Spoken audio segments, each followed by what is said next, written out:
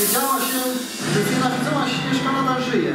Postanowiła wziąć sprawę w swoje ręce i pozbyć się Śnieżki jak najprędzej.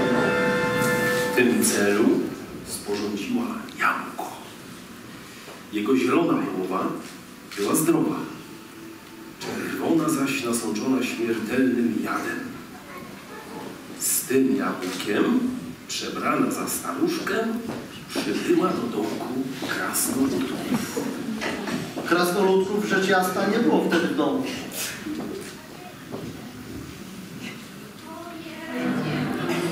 O, jaka ty pracowita jesteś.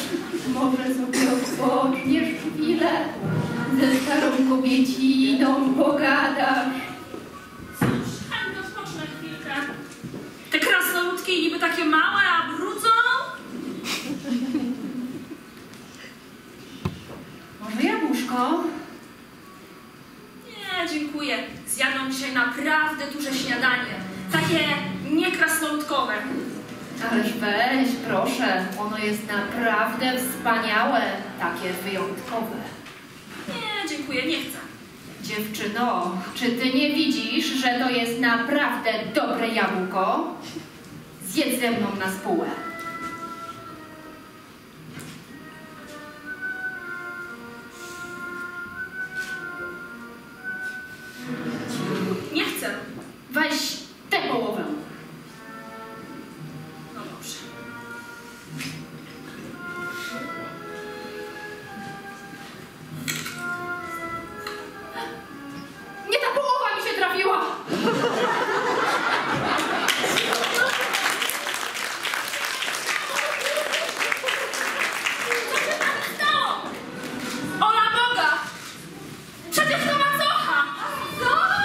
Bardzo.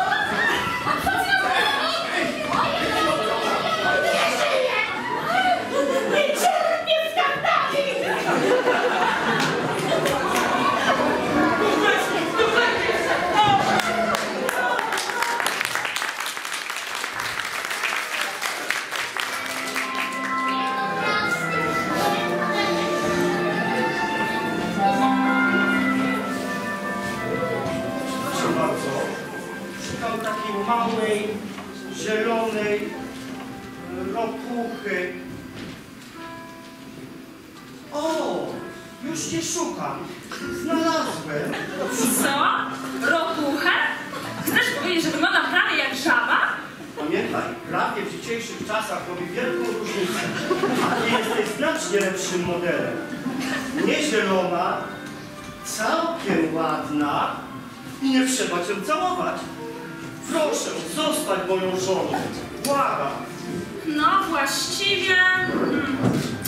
Zmęczyłam się już trochę tą przygodą z macochą. Dobrze, zostanę twoją żoną.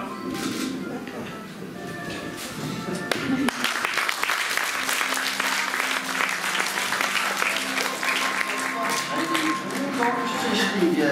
I dobrze im się działo.